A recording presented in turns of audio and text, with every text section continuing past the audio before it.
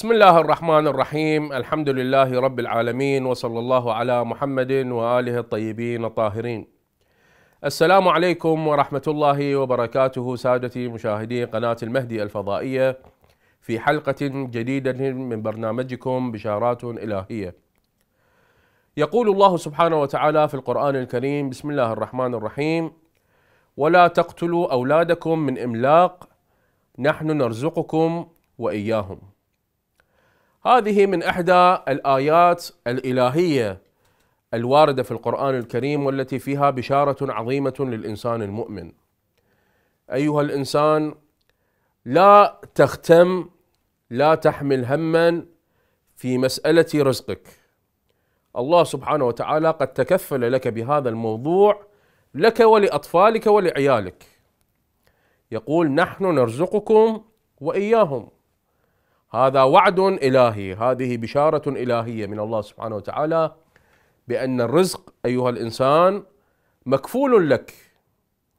إذا كان الله سبحانه وتعالى لا يضيع عباده العاصين لا يضيع الناس الكافرين المشركين. كل شخص يعطيه رزقه وإن كان عاصيا وإن كان كافرا وإن كان ملحدا وإن كان مشركا لا يضيع الله سبحانه وتعالى عباده. فما بالك أيها الإنسان المؤمن وأنت تحمل في جوانبك وفي جوانحك تحمل ولاية أمير المؤمنين سلام الله عليه. تحمل الشهادتين، تحمل حب أهل البيت سلام الله عليهم. هل يعقل بأن الله سبحانه وتعالى يتركك؟ هل يعقل بأن الله سبحانه وتعالى لا يتكفل برزقك؟ حاشا لله سبحانه وتعالى. هذه بشارة من الله سبحانه وتعالى. نحن نرزقكم وإياهم. لاحظوا رسول الله صلى الله عليه وآله يقول إن الرزق لا يجره حرص حريص ولا يصرفه كراهية كاره.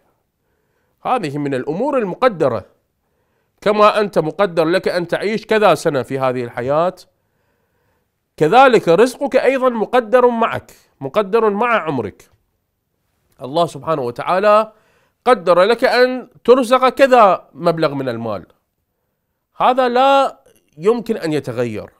لذلك قال لا يجره حرص حريص ولا يصرفه كراهية كاره. نعم الأمور الزائدة عن المقدر الأمور التي فيها تحتاج إلى أو تعتمد على عمل الإنسان على إرادة الإنسان نعم هذا أمر آخر. ولكن لكل إنسان رزق مقدر. كما أن للانسان أجل مقدر وهذا الأجل ممكن أن يزداد وينقص حسب أعمال الإنسان. كذلك الرزق نفس الأمر. هناك رزق مقدر من الله سبحانه وتعالى. ممكن هذا الرزق يزداد ببعض الأعمال وممكن أن ينقص ببعض الأعمال. مثلا الإنسان المؤمن إذا كان بارا بوالديه واصلا لأرحامه هذا الرزق يزداد. إذا كان الإنسان باغيا ومتعديا على حقوق الناس هذا الرزق ينقص. ولكن رسول الله يتحدث عن القدر الثابت بأنه هذا أمر ثابت فلا يستدعي منك أن تحرص كل الحرص على أن تنال هذا الرزق. كذلك يقول رسول الله صلى الله عليه وآله: لا تتشاغل عما فرض عليك بما قد ضمن لك. تجدون بعض الناس من الصباح إلى المساء منهمك بطلب الرزق. نعم طلب الرزق هو جهاد في سبيل الله. طلب الرزق من الأمور التي يحبها الله سبحانه وتعالى ويحبها أهل البيت سلام الله عليهم. ولكن هذا لا يعني بأنك أنت تصرف هذا العمر الثمين من الصباح إلى المساء حتى تغمض عينيك تصرفه كله في طلب الرزق. تترك الواجبات، تترك المستحبات، تترك الصلة الاجتماعية، تترك الجلوس مع عائلتك مع أولادك، تترك كل أمر جعله الله سبحانه وتعالى لك في هذه الحياة كلها تتركها جنبا وتتفرغ فقط لطلب الرزق. هذا ليس صحيحا. في مذهب أهل البيت هذا شيء غير صحيح خاطئ. لذلك رسول الله يقول لا تتشاغل عما فرض عليك من الأمور الواجبة بما قد ضمن لك فإنه ليس بفائتك ما قد قسم لك الرزق المقسوم لك هذا لا يفوتك. ولست بلاحق ما قد زوي عنك. أيضا الأمر الرزق الذي هو مزوي عنك يعني مبعد عنك غير مكتوب لك هذا مهما أردت أن تحاول أن تجتهد في هذه الحياة لا تناله. فاجعل قسم أوقاتك بالشكل الذي يضمن رضا الله سبحانه وتعالى، تكون فيه محققا لمرضات الله، محققا لحقوق الناس عليك.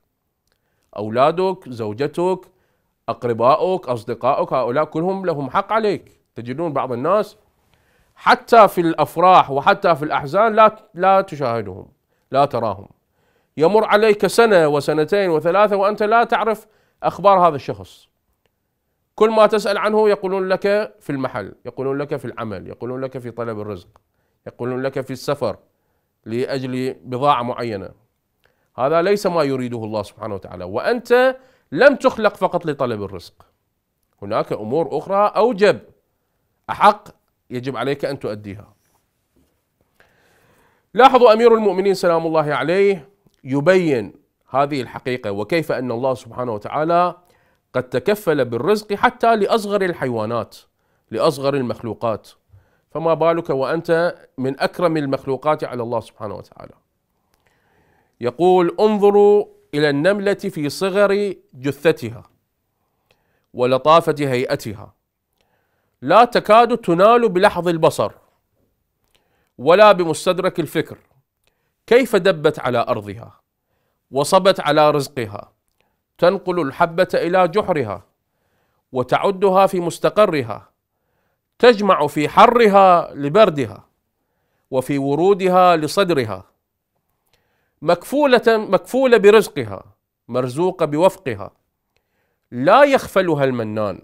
الله سبحانه وتعالى لا يخفل هذه النملة وهي من أصغر المخلوقات. ولا يحرمها الديان ولو في الصفا اليابس والحجر الجامس.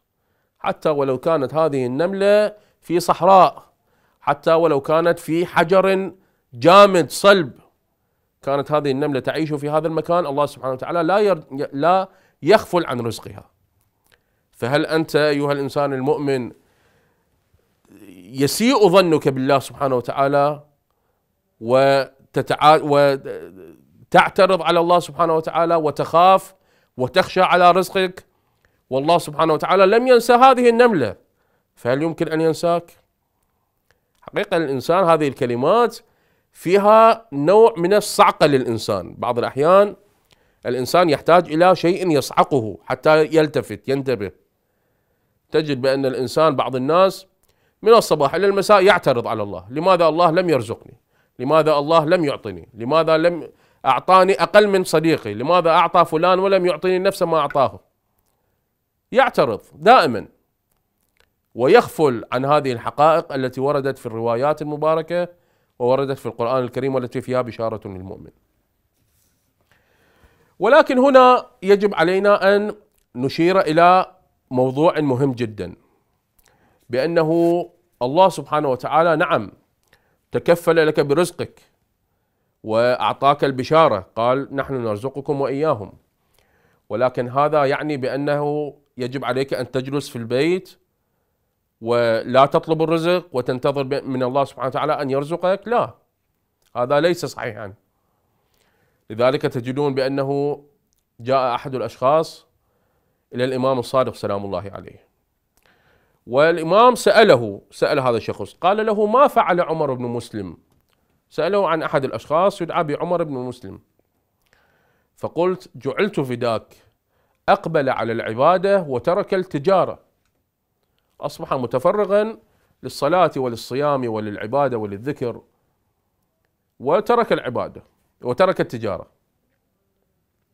فقال الإمام الصادق عليه السلام ويحه. لم يقل نعم حسنا فعل وهذا أمر جيد وأمر مأجور عليه. قال له ويحه. أما علم أن تارك الطلب لا يستجاب له؟ ألم يعلم بأن الذي يترك العمل لا يستجاب له دعاؤه؟ إن قوما ثم قال الإمام الصادق عليه السلام إن قوما من أصحاب رسول الله صلى الله عليه وآله لما نزلت ومن يتق الله هذه الآية ومن يتق الله يجعل له مخرجا ويرزقه من حيث لا يحتسب. أغلقوا الأبواب وأقبلوا على العبادة لأن الله تعالى يقول ومن يتق الله يجعل له مخرجا ويرزقهم من حيث لا يحتسب. هؤلاء ماذا فعلوا؟ أغلقوا أبواب محلاتهم وتركوا التجارة وتركوا البيع والشراء وذهبوا إلى العبادة. وقالوا قد كفينا. يعني الله سبحانه وتعالى تكفل لنا بالرزق فلماذا نحن نعمل؟ فبلغ ذلك النبي صلى الله عليه وآله فأرسل إليهم. فقال ما حملكم على ما صنعتم؟ لماذا أنتم صنعتم هكذا؟ فقالوا يا رسول الله تكفل لنا بأرزاقنا فأقبلنا على العبادة. فقال إنه من فعل ذلك لم يستجب له دعاؤه. عليكم بالطلب. نعم الله سبحانه وتعالى يقول نحن نرزقكم وإياهم. هذا لا يعني بأنه أنت تجلس في البيت وتقول أن الله سبحانه وتعالى تكفل لي برزقي. أنت اسعى اعمل جهدك في هذه الحياة في العمل في طلب الحلال وبعد ذلك دع الأمر وتوكل على الله وثق بالله سبحانه وتعالى بأنه هو الذي يتكفل لك رزقك في هذه الحياة. جعلنا الله وإياكم من المتمسكين بتعاليم أهل البيت عليهم السلام في هذه الدنيا ومن الفائزين بشفاعتهم في الآخرة والحمد لله رب العالمين وصلى الله على محمد وآله الطيبين الطاهرين.